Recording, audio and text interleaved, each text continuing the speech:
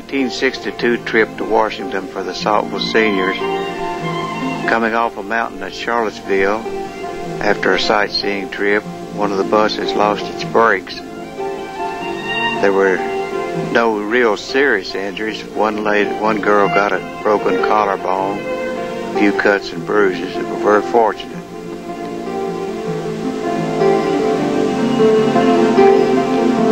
Some of the people that were on the bus at this time were Charlie Bill Totten, Ace Carpenter,